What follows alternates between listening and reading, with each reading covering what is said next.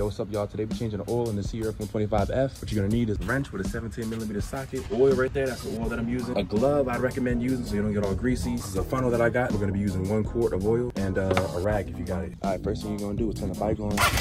Let it warm up for a little bit, let the oil get hot, that way you drain all of it out. So once the bike's warmed up, go ahead and turn it off. Boom, let's get the 17 millimeter. This is the bolt right here that we're gonna be taking off, okay? You might need a breaker bar to put the two inside of in order to uh, break the uh, tension on that bolt. You're gonna slide the bolt underneath of it, and you want to just hand loosen it up the rest of the way. You can tell us at the last couple of threads, it's when you want to hurry up and get ready to pull it out of here. Let's see. Ready? Boom. Out. Wasn't perfect, but good thing I got these gloves on. Let that drain all the way out. While that's draining out, go ahead and loosen up this uh, oil cap, let the pressure out. Just want to get all that oil out of there. Once all the oil drained out and you're down to a really, really slow leak or nothing at all, go ahead and put that bolt inside there. I'm gonna go ahead and put one quart of oil inside.